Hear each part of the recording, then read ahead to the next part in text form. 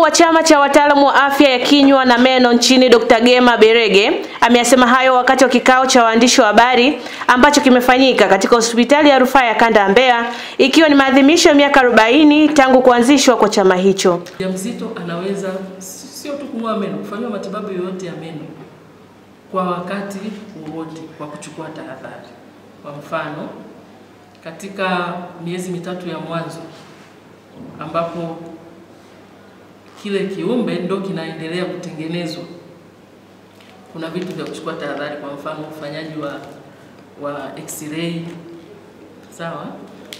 Katika hatua za mwisho tumekuwa tukiona pia wagonjwa wengi anakuja hatua za mwisho sana, labda ameshapata hata jipu, ameshapata madhara makubwa, anasema nilikuwa nangoja kwanza nijifungue.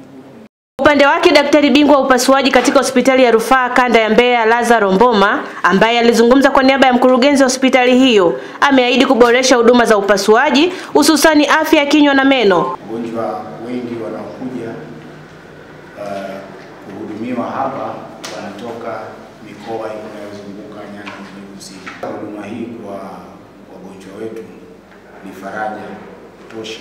um, kutunzwa vizuri, lakini pia kupata ugumu. Najua meno ni magumu na yanafanya kazi ngumu, kwa hiyo vyakula vile vinavyo vinavyoimarisha ugumu wa meno vinatakiwa vipatikane mara kwa mara. Wagonjwa wenye tatizo la afya ya kinywa na meno wamepongeza huduma hiyo ya upasuaji ambayo imetolewa bure kwa kipindi cha wiki moja sasa.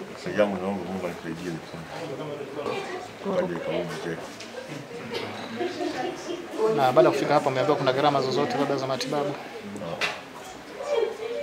Labda matibabu sijawahi pata kwa sababu nilikuwa na mtoto ambaye amehangaika sana kama miaka kumi hivi. Tatizo mwanangu alikuwa na alikuwa wazi, nikamleta huku, wakamhudumia vizuri, wakanipokea vizuri, wakamhudumia, wakamshona mpaka saizi yuko vizuri.